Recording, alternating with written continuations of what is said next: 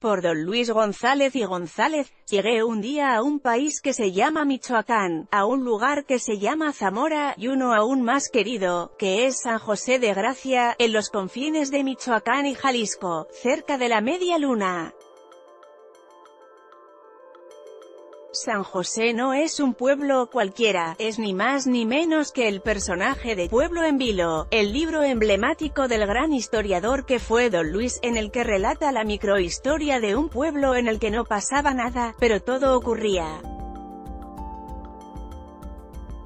A él lo conocí en 1980 por Samuel y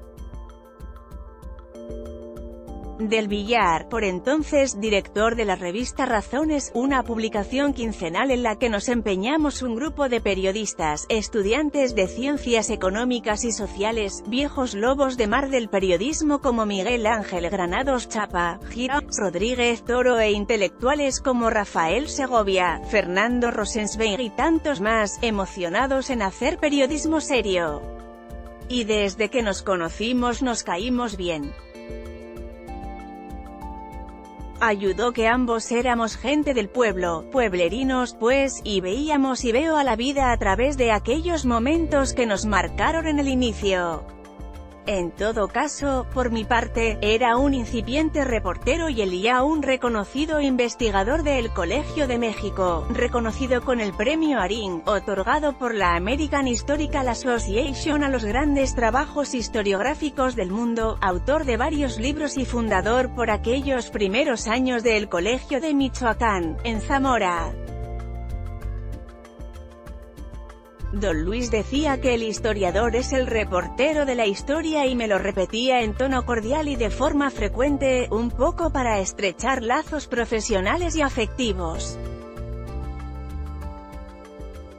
Por su parte, él llevaba la vena de la historia desde sus primeros años, en San José, nací en San José de Gracia en 1925. En 1927 mis padres decidieron que nos fuéramos a vivir a Guadalajara. Naturalmente yo no tenía conciencia de ello. En 1930 regresamos a San José. Yo tenía apenas 5 años y pronto, como en juego, participé en la reconstrucción del pueblo. Lo habían quemado. Todo estaba destruido. Por la Guerra Cristera, 1926 a 1929. En 1932 llegó a San José la maestra Josefina Barragán. De ella aprendí las primeras letras. Era muy buena. La quise mucho, luego, cuando vinieron las reformas al artículo tercero constitucional, siendo secretario de Educación Pública Narciso Basol-Sella renunció, es que eso de las reformas incluía lo que se llamaba, información sexual, y andaban diciendo por ahí que en Yiquilpan Osaguayo un maestro, para enseñar esto, hizo que una niña se desnudara, eso a ella no le gustó y renunció, yo seguí aprendiendo las letras con mi madre, a los 13 años, en 1938 me mandaron a Guadalajara para estudiar. Como yo no tenía papeles, mi papá consiguió un diploma por 50 pesos en Nayarit. En Guadalajara me decían, el chero, por ranchero, porque cuando llegué ni siquiera conocía la luz eléctrica, luego comenzaron a decirme, el científico, por eso de que me daba bien el estudio y me dijeron que empezará a dar clases, pero luego tuve problemas ahí porque me acusaron de que estaba yo leyendo, lecturas prohibidas, claro, era Ortega y Gasset y todo eso, terminé la prepa, luego hice un año de Derecho y decidí ir al Distrito Federal.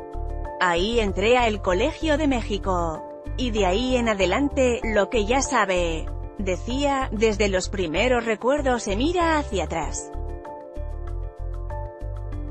Se hace historia desde que uno se sienta a la mesa familiar y, a modo de coro, se comienzan a recordar los acaeceres nuestros o de un miembro de la familia o del vecino tal, o de nuestra familia, de cómo y cuándo ocurrió esto o aquello.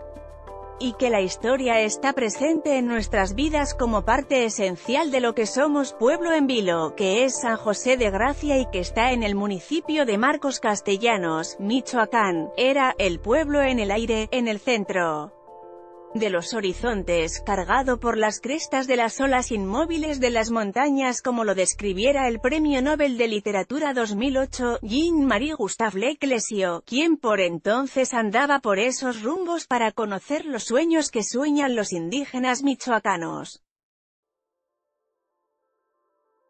Don Luis era un hombre sabio, cuya sencillez, bonomía, excelente charla y de puertas abiertas en su casa con su esposa, doña Armida de la Vara, atraía a muchos, no solo a sus alumnos que con frecuencia acudían para verlo, Enrique Krause, Héctor Aguilar Camín, Enrique Florescano, y muchos más. En su obra se cuenta, Pueblo en Vilo, los artífices del cardenismo, Saguayo, el indigenismo de Maximiliano, y la pasión del nido.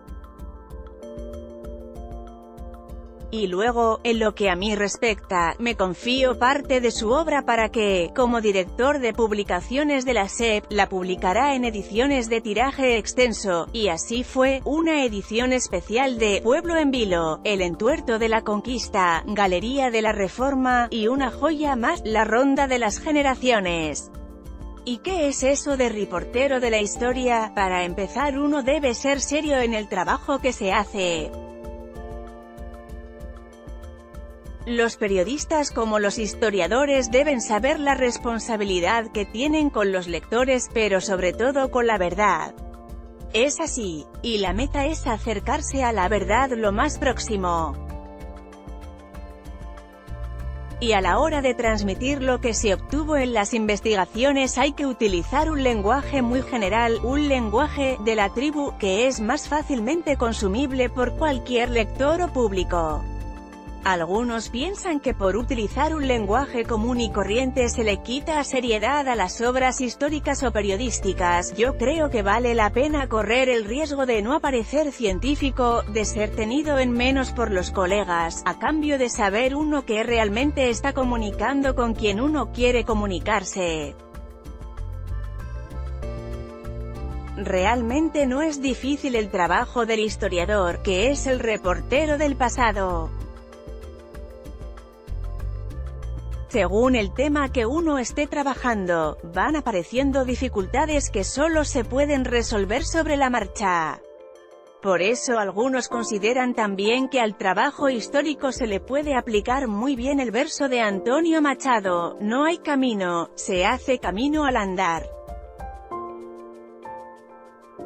La prueba de esto es que hasta fechas muy recientes todos los historiadores no se habían formado en ninguna escuela, se habían formado en la práctica misma. C. Pueblo en Vilo, dice que su obra es más que todo una crónica de lo que ha sido San José de Gracia en por lo menos un siglo y medio, sin dejar de lado la disciplina histórica que obliga a las técnicas heurísticas, críticas, interpretativas, etiológicas, arquitectónicas y de estilo, y decía, me considero consideró el intérprete de la visión que mis coterráneos tienen ahora de su vida pasada. Tengo la sensación de ser el cronista oficial del pueblo, el compilador y reconstructor de la memoria colectiva, desde que me convertí en cronista al estilo Rosario Sansores del ámbito social que me mimó en la infancia, empecé a recibir premios y pases a prestigiosos clubes de la cultura nacional.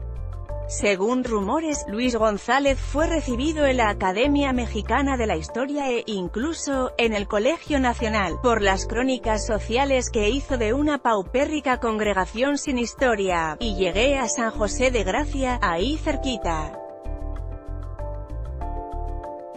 Primero fue en 1980 y lo pude saborear mejor desde 1984 cuando me llevó a conocer la Bugambilia y a sus habitantes, don Bernardo González Cárdenas y doña Teresa Villanueva de González, a quienes tanto quise y quiero, y a sus hijos con quienes comparto tiempos buenos y tiempos duros, que es lo que construye a las amistades que nunca habrán de terminar, y conocí el santuario en donde nació, Pueblo en Vilo.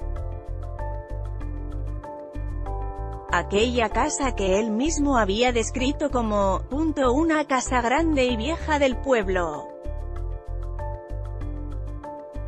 Se entra a la casa por un corredor breve y ancho que desemboca a los corredores de adentro y al jardín. En medio de este se levanta el brocal de un pozo, a un lado hay una fuente de azulejos. La planta más frondosa del jardín es una granada de China. A su sombra han muerto muchos rosales, begonias y belenes. Sobre tres lados del rectángulo del jardín se inclinan las vertientes de los corredores. Los pisos son de mosaicos. Al corredor dan las puertas de las alcobas, la sala y el comedor, fue ahí en donde don Luis más quería estar. Punto. Allá está, desde diciembre de 2003. Santiago arroba prodigy.net.mx